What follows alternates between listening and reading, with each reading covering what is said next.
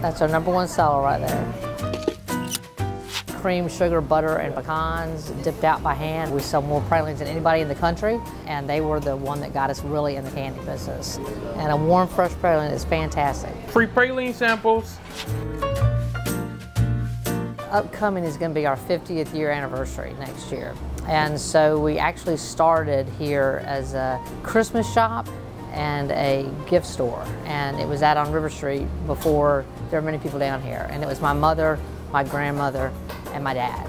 And actually business was so slow that um, my grandmother stayed here to try to keep things running. And then we, we moved off, came back, and when we did, I was in the eighth grade, my brother was in the sixth grade, and we went to the Atlanta gift market and we were looking for some peppermints uh, and some different ornaments and things for our store here. It was called the Cotton Bale. And uh, my brother, who was in the sixth grade, snuck off and found a fudge pot and they delivered it here. And I made some of the fudge. I made way too much chocolate mint fudge, but that was the first candy. And then uh, my parents started experimenting with pralines at home. And I was born in Baton Rouge, Louisiana. And so my family was really familiar with pralines. And they made the recipe at home over several weekends in little batches. You're only making about a pound or two at a time. And my brother and I got to taste them. And then my dad decided to start making them in the store because he was a great showman. And the whole store evolved really quickly in about three months to be in a candy store. And you guys have a sweet day. Okay, thank you. We want to be able to provide a fun family atmosphere for everybody and we want to be able to have something that everyone can enjoy, a little affordable treat that everybody can enjoy. So the number one thing we want to do is engage all five senses. We want people to see it being made. We want you to be able to talk to the candy maker making it. You know, we want to be able to say, oh yeah, I want that one, and then to be able to get whatever it is that they want. And we just want them to be able to have a good time. My dad used to always say, yeah, a Strickland always loved to eat, and that's true.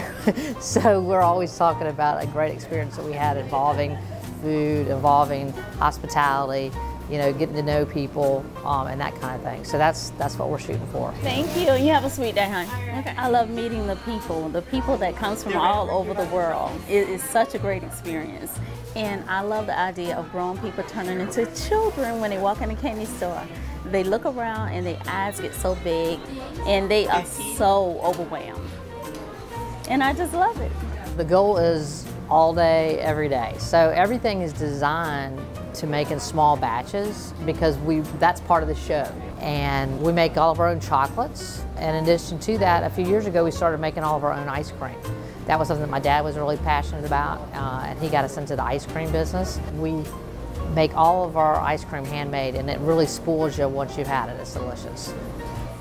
Well, I've been here for 17 years, and I've been coming here probably for about 17 years. What is the candy? You know, they have the pralines homemade, and of course, you see me with an ice cream cone, so the ice cream is magnificent, so that's what keeps me coming back.